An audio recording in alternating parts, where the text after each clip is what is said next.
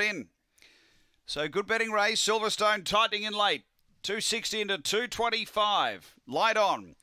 The one and five best back runners here. Race 11. They're set to run.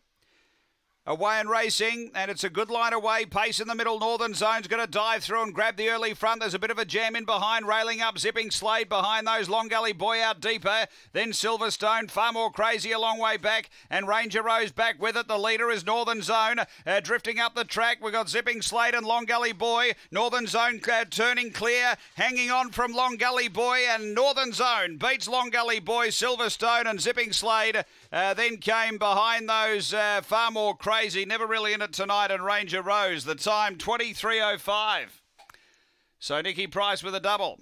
Straight to the lead, Northern Zone. Shifted up the track a bit, but has been able to hold them off.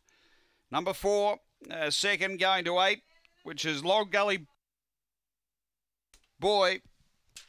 And five, third, Silverstone for Ray Murray. It's 4852, 2305, race 11.